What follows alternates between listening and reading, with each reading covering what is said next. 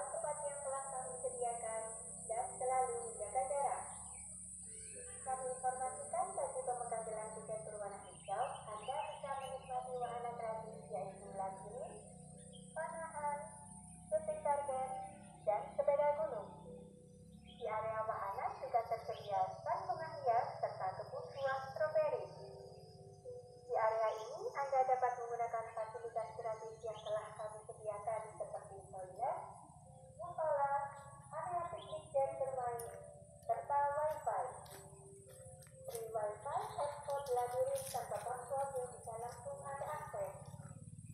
Jangan lupa upload foto-foto Anda di media sosial dengan mencantumkan hashtag Sobat Rondo. Di area wahana juga tersedia bicara yang menyediakan berbagai jajanan dan oleh-oleh khas Malang.